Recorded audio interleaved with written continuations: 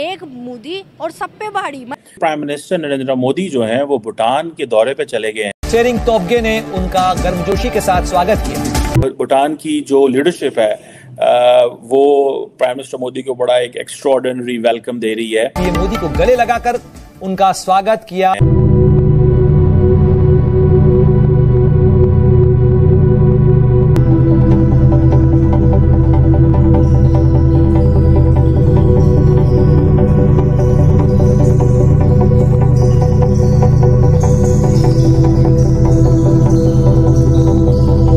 ये बहुत बड़ी डेवलपमेंट है। मतलब के सारे उसको बुला रहे हैं सारे उसको कह रहे हैं कि ये करो वो करो क्यों? पूरे वेस्टर्न मीडिया में भारत की तारीफ़ हो रही है।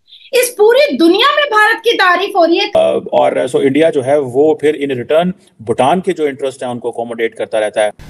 आपने वो ये ज़िक्र किया था हिंदुस्तान को जो भूटान है उसके जो फॉरेन अफेयर्स हैं और उसके जो डिफेंस अफेयर्स हैं वो हिंदुस्तान के जिम्मे हैं। भारत अफ्रीका में असला बेच रहा है। तो आप इस वक्त अमेरिका जो भारत है वो अमेरिका का कंपटीशन बन चुका है। इंडिया का लीडर बन चुका है। वो सिर्फ़ इंडिया का लीडर नहीं है क्योंकि हर बंदा जानता है कि मोदी की कितनी पावर है इंडिया के तो उसने इंडिया को किस तरीके से ग्रो किया जाए। जैसे वो कहते हैं ना ये आप समझे कि भूटान एक एक अकेला साउथ एशियन मुल्क है जिसने इंडिया के कहने पे so far resisted the China's belt and road initiative कहा जाता है कि एक तरफ़ तो ये हम देखते हैं कि चाइना के जो टेरिटोरियल डिफरेंस हैं भूटान के साथ कोई इतने इंपॉर्टेंट नहीं है। और चाइना की जो पॉलिसी है टेरिटोरियल डिस्प्यूट्स की that is with every one ठीक है? हर एक मुल्क के साथ उनका मसला है।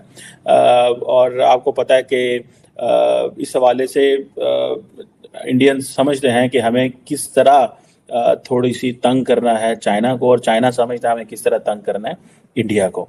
बहरहाल एनी हो अब ये कहा जाता है कि जो साइन ऑफ़ भूटानीज जो बॉर्डर टॉक्स हैं, और इनके जो बॉर्डर इश्यूज़ हैं, वो 1984 में टॉक्स शुरू हुई लेकिन बीच में रुक गई। कहा जाता है जब 2017 में इंडिया और चाइना का एक डोकलम प्लाटो के ऊपर जो एक मिलिट्री स्टैंड ऑफ़ हुआ था।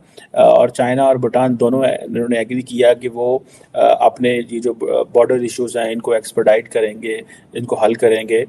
लेकिन रिमेंबर ये याद रखिएगा कि भूटान जो है प्राइम मिनिस्टर मोदी की वन ऑफ़ द रीजंस वो कहते तो हैं नेबरहुड फ़र्स्ट पॉलिसी है, लेकिन इंडिया इज़ डेफिनेटली लुकिंग के चाइना जो है, वो जितने भी छोटे छोटे मुल्क हैं, उधर अपने पंजे गाड़ रहा है।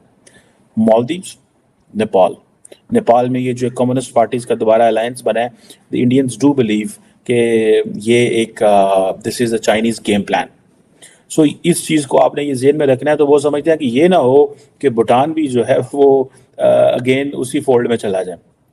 ठीक है जनाब? और इंडिया की जो national security and foreign policy है क्योंकि इंडिया अगर उसे बफर स्टेट समझता है तो वो कंप्रोमाइज हो सकती है।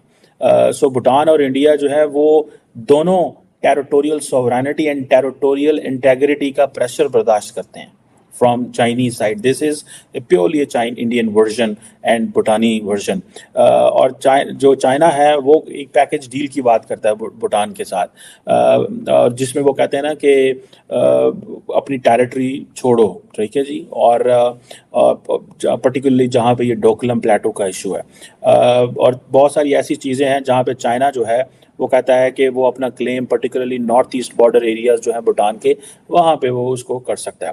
बहरहाल एनी हो जिसे वो कहते हैं ना कि ढोकला में एक स्ट्रेटेजिकली सिग्निफिकेंट जगह है फॉर इंडिया क्योंकि इसकी जो प्रॉक्सिमिटी इस तरह की है कि वो जो सिलीगुड़ी कॉरिडोर है, जो कि नैरो स्ट्रिप है, जैसे जैसे मैंने पहले बताया था चिकन नेक के नाम से जाना जाता है जो कि नॉर्थ ईस्टर्न इंडिया को स्टेट्स को कनेक्ट करता है with the rest of the country so Chinese समझते हैं कि इस, ये this is this could be a problem so एक इंडिया की अंदर बहुत सारी इसके ऊपर बहस होती है कि इसको देखा जाता है एज एन हाइपोथेटिकल कॉन्फ्लिक्ट के तौर पे देखा जाता है। बहरहाल ये एक है, ऐसे इश्यूज़ हैं जिनको हमने ये कॉन्टीन्यूसली रहेंगे एंड आई बिलीव मेरी असेसमेंट ये है। And I think this is also the assessment of India's minister for external affairs prime minister Modi को ये बताया गया है। पे अटेंशन टू भूटान और um, ये जो जिसे वो कहते हैं ना कि देर इज़ अ पॉसिबिलिटी कि चाइना जितने भी बफर स्टेट्स हैं उनको इस्तेमाल कर सकता है। Um, और uh, जिसे वो कहते हैं ना कि चाइना नेपाल मॉडल लेके आएगा भूटान में जहाँ पे आपको पता है कि uh, तमाम अपने if they use all levers of power कि कैसे कैसे चाइना की जो, इंडिया की जो प्रेजेंस है, उसको चेक किया जा सकता है। और इस हवाले से जैसे कहते हैं ना, दोनों मुल्क, चाइना और भूटान भी कॉन्टीन्यूसली इंगेज हैं। बट मेरे ख्याल से India does want that it should help Bhutan in so many ways और भूटान की समझ यह है कि, भूटान को यह है कि Bhutan will keep a balance relationship with India and China but I think the Bhutan does feel that they are more comfortable with India और जो चाइनीज़ इकोनॉमिक प्रेजेंस है, वो आपको पता है, आहिस्ता आहिस्ता भूटान में भी बढ़ रही है। और कहा जाता है कि इनकी जो क्वार्टर ऑफ़ ट्रेड है दैट इज़ विद चाइना और जिसे वो कहते हैं ना पर्टिकुलरली टेलीकम्युनिकेशन में देख लें हाईवेज में देख लें हाइड्रो पावर में देख लें। So if telecommunication hydro power and highways if they are with the Chinese तो अब आप इमेजिन करें दैट इज़ द रीजन कि प्राइम मिनिस्टर मोदी जो इस ट्रिप में जा रहे हैं वहाँ पे infrastructure development connectivity energy hydro power cooperation की बात हो रही है। बिकॉज़ इंडिया को पता है कि this is the area where the Chinese have already entered अब कहा जाता है कि भूटान के लिए जो है वो ये है कि उसने Uh, उसको बड़ा केयरफुल होने की ज़रूरत है इन अ सेंस के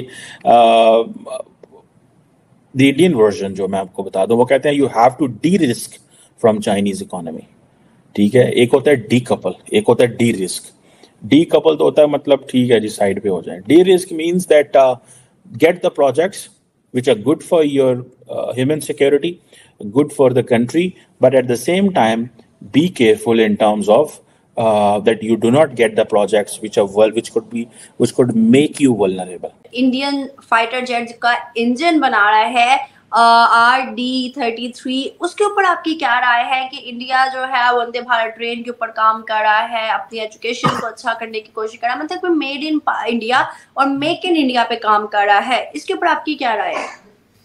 देखें, आज भी से 24 घंटे पहले रशिया की किलमॉफ जो इंडस्ट्रीज़ या किलमॉफ जो कंपनी है, जो R D thirty three turbofan jet engine बनाती है उन्होंने एमओयू साइन किया एच के साथ और टेक्नोलॉजी ट्रांसफ़र की। अब ये इंजन इंडिया में बनेंगे और आने वाले वक्त में ये इंजन रशिया में बनना बंद हो जाएँगे।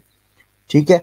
लेकिन इसके अंदर सबसे बड़ी बात यह है कि ये इंजन जो हैं ये मिग 29, मिग 33, मिग 35, चाइना के Shenyang F C thirty one और पाकिस्तान एयरफोर्स के जे एफ़ सेवनटीन थंडर में भी यही इंजन लगते हैं। जहाज़ कोई भी बना सकता है। इंजन कोई नहीं बना सकता। इंजन मेन कंपोनेंट है। फाइटर जेट बनाने को तो मैं बना लूँगा, पर मैं इंजन शायद अगले पच्चीस साल भी शायद ना बना पाऊँ, ठीक है? इंजन इतना इंपॉर्टेंट होता है। अगले एक से दो साल में किलमॉफ इंडस्ट्रीज़ अपना ये इंजन रशिया में बनाना बंद कर देगी। उसके बाद दुनिया में जिसको भी इस इंजन, ये इंजन चाहिए या इस इंजन के स्पेयर पार्ट चाहिए, उसको इंडिया से मांगने पड़ेंगे। तो इसका मतलब है कि फ्यूचर में अगर पाकिस्तान जे एफ़ सेवनटीन की प्रोडक्शन करता है या जे एफ़ सेवनटीन की मेंटेनेंस करनी है तो उसको स्पेयर पार्ट इंजन इंडिया से मांगने पड़ेंगे। और सिमिलरली चाइना को भी। जैसे चाइना के Shenyang F C thirty one है वो भी यही इंजन यूज़ करता है। It's a big opportunity for India ना। फ्यूचर के लिए इंडिया को बहुत ज़्यादा बेनिफिट होने वाला है इस चीज़ का।